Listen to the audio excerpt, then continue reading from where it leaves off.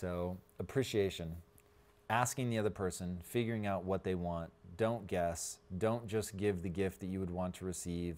Be conscious yourself of what it is that you want. Hey, everybody, welcome to another episode of Relationship Theory. Today, we're going to be answering one very simple question How do you make your partner feel appreciated? Baby, how do you make me feel appreciated? I'll do my, You tell me. Um, all I right. hope you have a strategy and that this isn't just happening by accident. I'm supposed to tell you. I can like, tell you how don't I'd like to be appreciated. Um, well, I mean, look, first of all, and we didn't start here, so this was, I think, in our evolution of being together for 20 years. Ask the other person. Been married almost 20 years. There We've you been go. together 21. There it is. Says the man that literally a week ago was like, babe, we're about to celebrate our 19 years, aren't we? I'm like, no, it's 20. Did I say that or did I say? You did. Is it 19 or 20? I admittedly was like trying to run the math in my head. I thought it was just faster to ask. Um, all right, so I got totally derailed. how do you make somebody feel Okay, appreciated? So yeah, number one is ask for the person. Like I know it seems so simple. Keys to the kingdom. I I tried to guess. You tried to guess what I wanted. You I tried to guess what you wanted. And it's like I mean the thing we even had a discussion about like I want you to send me flowers. I want you to send me love notes. I want you to text me lovely sweet messages. Um, that wouldn't work for you. That wouldn't necessarily be your language of appreciation. So instead of me guessing and then getting Never it send me flowers. yeah, Let's just I be know. very clear about that. Um, don't guess. Literally ask. And here's the other point, though. I've noticed because we just had our family here that mean you act in other ways that normal people don't, and I didn't realize it's actually sometimes hard for people to actually say what they want. Mm. Like, what is their language of appreciation? It's like, oh, you know, whatever. Like, you get that so often. So that's actually interesting to bring into this discussion where what if someone isn't necessarily giving you a straightforward answer? Because for me and you, it really was, well, how do you feel appreciated? And I was like, I need your time. You can get me all the wonderful gifts in the world.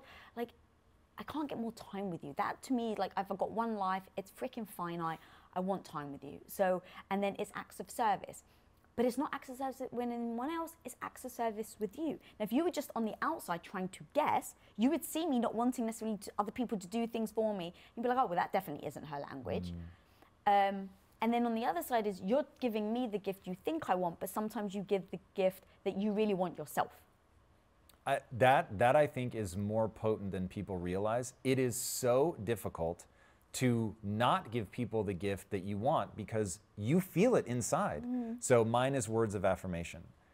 That's so potent for me and gives me such a big emotional response that it's it's weird for me to think, oh, some people like for them it's that's absolutely meaningless and they want gifts, for instance. So somebody that I know and love very much, their love language is gifts. And that's so foreign to me that I remember the first time that they actually said it out loud and I was like, whoa.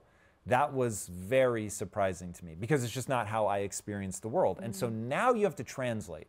Now you have to go, okay, this wouldn't mean anything to me, but it really means something to them. It's like giving Tupperware to somebody at Christmas. I'm like, what is happening? Oh, my If- mother-in-law, I If somebody gave me. Tupperware for Christmas, I would be aghast. I would be like, save your money. You don't need to get me anything. That's absolutely fine. Come just give me a hug. I'm all for it. But giving me Tupperware is actually offensive. But I would be here's mortified. the thing: the person that gave it, that's their love language. Yes, I know. My mother-in-law, your mom, she always every Christmas she can't help herself, and I realized it's actually her love language. She's not necessarily doing it because for her, It's not giving you Tupperware isn't her love language. It's not like my mom's love language is Tupperware. My mom kitchen it utensils. means yes, she gets an emotional response from that kind of gift. exactly. Right. So sorry, keep going. But yes, No, I mean that's uh, that is exactly the thing I think so many people miss is that it's very hard to do the translation effort of I would be mortified if somebody gave this to me and therefore if I'm completely honest, I don't get the same emotional response giving them that You're gift. right. Whereas if somebody asks, like my sister likes manga, so I as soon as I get her Christmas wish list, I go straight for the manga because I feel awesome giving it to Yeah, her because yeah, I love it too, and I'm like, oh my god, you're gonna love this. It's gonna be amazing. And so I get you manga, and I'm like, I feel so bad, babe. All I've got you is this manga book. And Yes. You're, you're like so happy, but even I, even seeing you happy, I'm just like, And honestly, getting a gift that somebody loves giving you as much as you love receiving it is awesome. Yeah. And so that the same is true of love languages. And so understanding your partner's love language, even taking tests, I'm sure they're very easy to find online. We've had our whole company do it, although not in a while, and we probably Captivate, should. my girl Vanessa Van Edwards. Preach. So doing those is surprisingly enlightening about yourself Mm-hmm. because you realize like Mm. for instance you said this earlier what's interesting is i i have two love languages with you Mm-hmm. which are um, words of appreciation and touch but i don't want anybody else touching me so it is really interesting. I would never have guessed that my second love language is touch. Like it's self evident to me that I like to be touched by you, but I just never put it in that frame of reference. And so realizing as you're going through these quizzes and answering them, it's like, well, if it's Lisa, I would like this. Mm-hmm. But if it's anybody else, I would want this. And so really taking the time to do the self reflection to figure yourself out so that you can then um, figure out the other person, you can create a more effective theory of mind, and now you guys can really connect and not miss each other. So true. And a big part of it also is to not judge the other person and what their love So language important. is. Because while other people are like, gifts, that's your love language. God, aren't you, um, what's the word? Not sure where you're headed. um, materialistic. Hmm. And it's like, well, no. Like, if, if for whatever reason, that's the way that they hear and feel appreciated. Like, if it's someone you love and it's someone you actually want to be happy, you know, want to be hmm. happy, there's no right or wrong. There is, they've been open, they've been honest. This is their love language. And if you want to be happy, then you have to take off the judgment and be like, okay, then this is them. You know, same with, um, like, it is hard for me to sometimes just keep saying praises or appreciation out loud because I don't want it to seem fake. I feel it, I feel it so much. But I have to remind myself, actually, this is true. I have to remind myself to keep saying it. It doesn't mean I don't think it, it doesn't mean that I don't feel it. But I have to remind myself to keep saying it out loud. And sometimes in the reminding of saying it out loud, I have to remind, okay, this isn't fake. You do feel it, but they just need to hear it. Um, and then having to work through how you do that, and then making sure that you're actually delivering on it and you know and look we, we are all human so it doesn't mean that we're always good at showing those love languages to the person that we love all the time but it's remembering and going back to it and um, and then also one more thing to add is does it change over time does your love language change over time because actually as you were just talking it's interesting you said about touch and i was like god i think i'd actually way rather you come and hug me than so the one thing is i'd said Oh, finish that sentence. As I your will. husband, I want to know. Sorry, because you said I, I would I'd always said act of service, but only from you. And so what you do is you heard me, and babe, I felt so heard. You went and put the kettle on every single morning since, and you do that without fail. Every single morning, no matter how busy you are, no matter how much or how little you've slept, every single morning you, you fill up the kettle and you boil it for me. And it's that little thing that meant so much to me. But as you were just talking, you said touch, I was like, if I had to choose between you putting the kettle on or you giving me a hug every morning, I'd take the hug. I mean, here's the good news you don't have to choose. What's interesting though mm. is that we kiss every morning, but we don't hug because it's we're often in different positions. One of us is standing, one of us is sitting because we get up at different times. Would that like be meaningful to you? Maybe. That's really We should interesting. try it. Like, actually, just every morning instead of, yeah, we obviously give each other a kiss, but like just give a big hug. Hmm. God bless the show. I know, it's so true. Okay, we're going to try that. So, appreciation, asking the other person, figuring out what they want. Don't guess. Don't just give the gift that you would want to receive.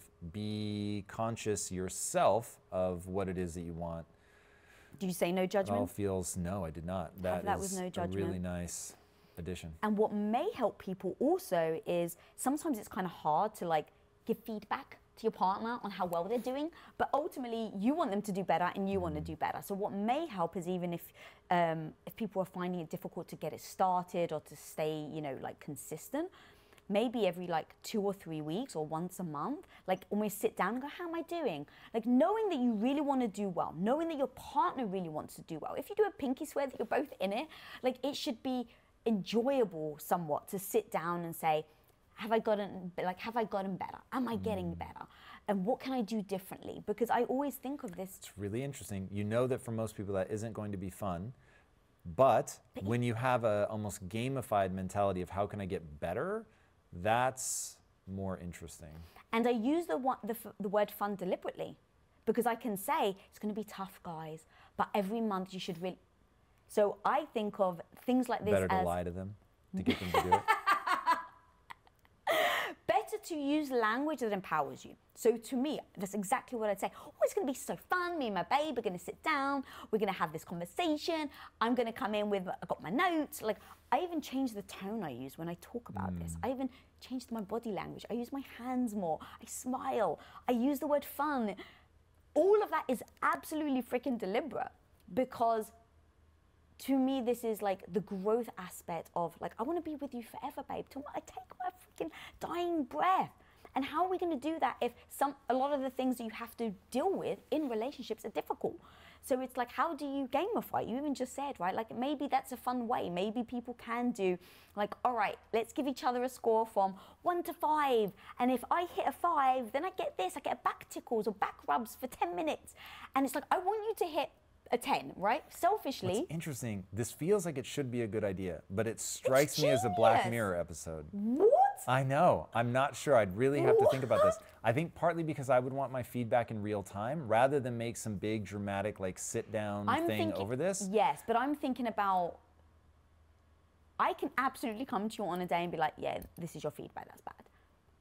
I'm trying to be universal on how most people function and how most people don't just do that. And then also, most people may feel it as an Does this attack. break down along male female lines? I don't know that It that's feel- true, it may but I like an the thought of you being like every Saturday we're going to sit down and I'm going to give you a scorecard. It's like I want to want that. I want to want that because I want to get better, but it really sounds Well, the way you just said it, of horrendous. course it's going to be horrendous. I just want You the feedback in real time. right? so that I, I get like because I do want to get better and I want to deliver what you want for the very reason that you said I want to be with you forever and like this is how you keep a healthy thriving relationship. And when I think about what we actually do, we give each other feedback in real time and occasionally we fail to and then we'll have the more dramatic talk and because those dramatic talks are rarely fun, they're useful, but they are rarely fun that making this like when you said I'm coming with my notes, I was like, oh dear God, this sounds like a nightmare. All right. So here's the funny thing. We would talk about this. This literally is how we would talk, guys. So you're like flies on the wall. So what I would do, babe, hearing that you hate that, I would go, all right. You love sushi. All right, I'm gonna make this whole event. It's gonna be fun because I don't want it to be a dredge. I don't want it to be like, oh God. And- Sushi with a side of blindside. Like, let me hit you with what I've been thinking about for the last month. You've sucked on these three dimensions. That's amazing. The funny thing is, this is so important to get the information, but doing it in a formal way, it clicks a thing in my brain over into work. And like, because these are all ideas where I'm like, wow, that actually be really good for the company. But I wouldn't want to run my personal life in this way. You have to get the information. This is mm-hmm. so true. And I want to make sure people hear that we put so much time and energy into this. But the idea of turning it into this formalized process I yeah. really mortifies me, the funny, it doesn't me in the sense of which is I very interesting. I think of the, the the the pitfalls that we've either fallen into or that other people may fall into. And we've been in business together for so long, babe, that I can come to you and say that in real time and we work it out and we move on.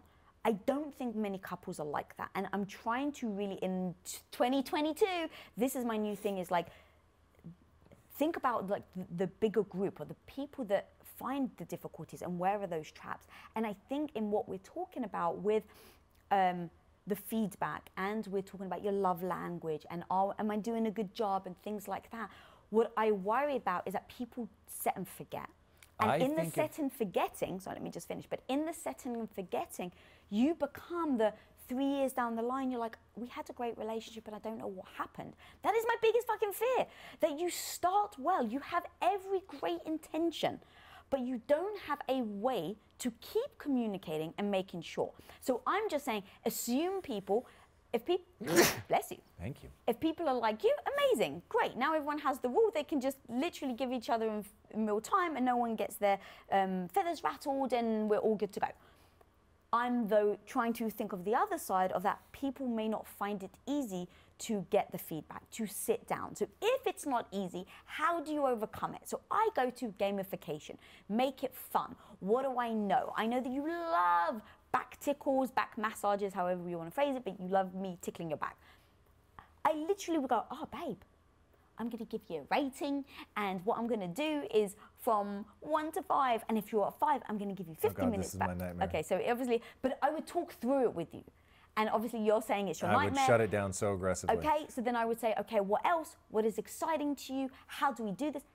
Communication. That's the point I'm So trying to So you and I, I feel like we've actually already cracked this nut, and I'm so curious to see if you see this in the same way. We've talked about this before. What I do and what you and I have talked about many, many times before is when you have feedback like that, one, you want to give it as soon as you can, and two, you want to look for a moment where the person is receptive. And so I don't just say things right at that very second because there might be tension in that moment. And now, if I'm giving you negative feedback in a moment where it's already one of us is has our feathers rattled, to use your new phrase, uh, I let it go. I- I was like, rattle feathers, I, huh? we need like a little Lisa dictionary of all the like phrases like blend together. I like it. I like bloody sense. rattling feathers. Not an easy task, I might add. Feathers are not known for how much they rattle. But uh, when one of us has our feathers rattled, to hit them with critical feedback at that moment is probably not the right idea. But Yes. this whole idea that we have about giving the keys to the kingdom. So I want you to win. So one, I'm not coming at you with negative feedback to sting you with something. Mm. I am coming with it to help you. This is going to sound funny. I don't have a better way to say this, and, and I'm saying it to my wife, who will, knows what I mean, but to better manage me and to help facilitate you know ease of communication and connection and appreciation to keep this on theme so i'm looking for that right moment where we feel really connected. I can tell that you're open and receptive. And then i will say hey you know something that would be amazing is if you did more of this less of that whatever. And when you one again you have to keep these timelines short. It should be measured in days not weeks and certainly not months. But when you look for that moment where it's like okay i can say this now and they'll actually be able to hear what i'm saying and that i'm saying it with love and that i'm being protective of the relationship it really works like really well the idea of doing it formally and like it i'm coming in like you know sort of ready for a fight and it feels like I was trying to make work. it fun so it wouldn't feel like a fight. no, it's totally get that. I understand your intentions. But when I think about the fact we don't do it like that, and I think there's a reason we don't do it like that, and so then I started asking myself, what do I do? And then I was like, oh yeah, we've talked about this a thousand times. All right, so here I'm going to throw a wrench in your idea, Yeah. and I'd love to hear your uh, how will you solve it. So, totally agree. Assume so couples that are like us, they're good to go. They can do it in real time. Hopefully, we're given information. What if you're not someone that can do it in real time? There's sensitivity. You even said like, hey, no, no, no. You actually just have to find the right moment. Now, what if there's a stress in the relationship, and that moment you, you keep waiting? At what point do you go, oh, we've gone too long and I can't wait anymore. So now what do you do? Because that's my fear. That is exactly what I'm trying to get to, is that there's just a check-in moment. And so You if ready? you don't have I had an idea come to mind. It is maybe just my version of exactly what you're trying to do, and so I'm just putting whatever my own spin. So you've you're, you've got the right idea to gamify it, or maybe I'll say it slightly differently, just to make sure that it's fun. Yeah. So I thought, okay, what if you had a a fishbowl and little strips of paper next to the fishbowl, and each of you, every time something you bump against something during the week, and so you write a the thing on it, like um, I wish you boiled my kettle every morning, or let's say this would be easier if we both drank tea or coffee, whatever. Uh, I wish that you filled the water back up when you poured it for your own coffee so that when I woke up, because I almost always wake up before you, so that when I woke up, there was water for me as well. Word. I totally get and that would make me feel appreciated. And then on the other side of it, you write like the the fun thing that the reward for doing that or even for taking on the information, right? for picking it out of the bowl. Yeah, like uh, you get a kiss, you nice. get two minutes back tickle. I'm gonna, uh, if we get the next time we get takeout, I'm gonna put it away for you in the fridge. Whatever, like just fun little things in the other person's love language that you're gonna do. And so now on the weekend, it's like one, I can see that there are things in the fishbowl, so it's like, oh, interesting. There's something that the person's bumped against, or, and this would make it even more fun. This is actually getting kind of interesting. If I know that there's also good things in the bowl. Ah. So it's like the gonna say, isn't like, oh god. That's what I was saying. The bowl becomes anxiety. Right. I, I like walk in. This is got why the got meeting I could feel you setting up for us with notes. I was like, Jesus. It's like I can I'm fearing the weekends now. And I see like three of my notes, and I was like overstacked.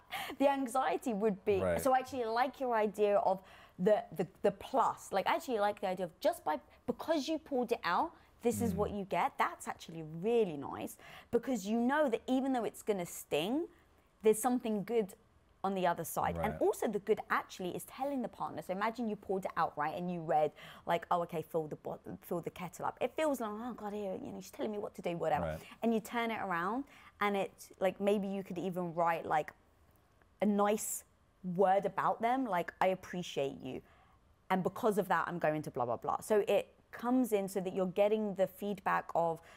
Hey, here's an improvement, but here's also something positive that you can take out of that. That's really interesting. So big ups, as you say. The funny thing is, so much of your British slang is like locked in like the late '90s. I wonder if anybody in England even says that anymore. But um, It's big up. big up, Like big up to- singular. Yeah. So to big up somebody. Oh, yeah. And but then also some of them are going to be things that they could do better. That's actually really interesting. See, and guys, this is literally how we come to our results. Like it's like, oh well, I had this idea. You think it's ridiculous. You say your idea. I'm like, I hate that idea. And then yeah, we I just think go being honest about what you think. how it would affect you. Yeah. Like I could have just been like, hmm, yeah, Saturday notes, that's great. I can't wait. And I could have just been like, uh huh, your fishbowl idea of all the shit that you're doing Right. wrong. Mm, can't wait. So true. Boom. Preach. There it is. That's actually a good tactic. I like that. We'll have to start using our fishbowl idea. We should do a game.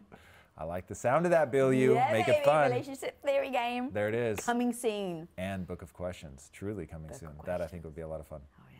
All right, everybody, there it is. Now you know. And if you implement things like that with your own partner, then you can really make them feel the appreciation, which goes a long way, a lot farther than you probably think. And speaking of things that go farther than you think, if you haven't already, be sure to subscribe. And until next time, my friends, go and build a beautiful relationship. Take care. Peace.